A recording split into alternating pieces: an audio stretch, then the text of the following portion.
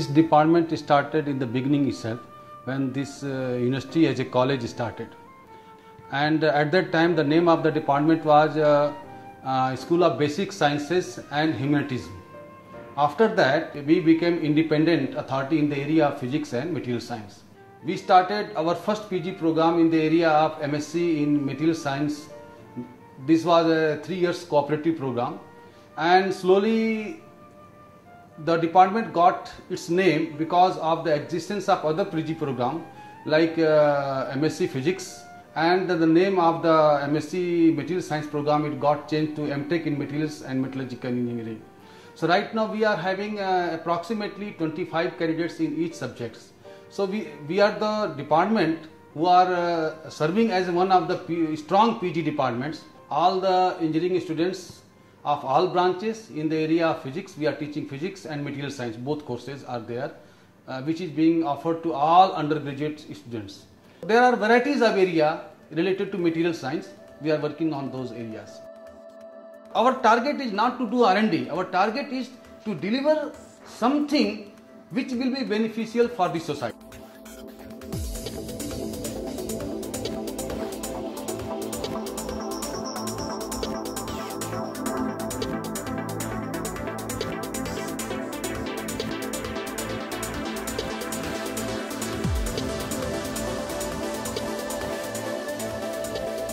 We are working in different areas. Like some people are working in the in the area of uh, uh, ceramic materials where we are trying to develop new materials uh, as a fuel cell material okay?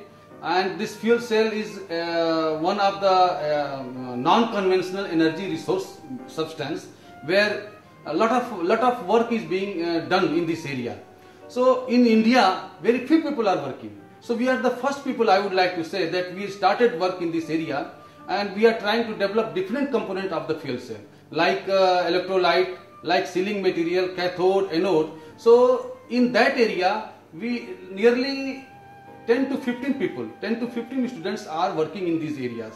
We got something around 20 research projects, R&D activities worth crores of rupees here uh, which are being funded by different funding agency and in all these projects we got different instruments like we have DTA, uh, we have dilatometer, we have uh, even uh, recently we have procured scanning electron microscope, we have procured uh, atomic force microscope, we have procured uh, mm, X-ray. So all basic facility which is required to work in the area of uh, material science that is existing in my department.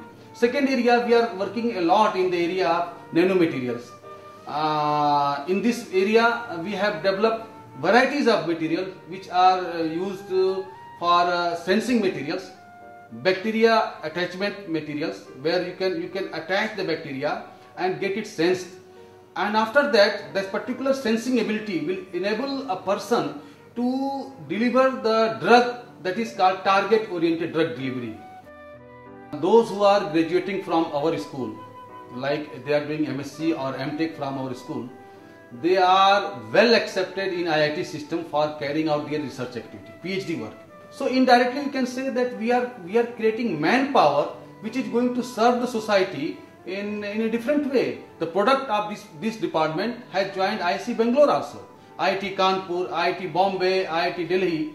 So in that way there is no problem. Everybody is uh, having very good avenue and opportunity.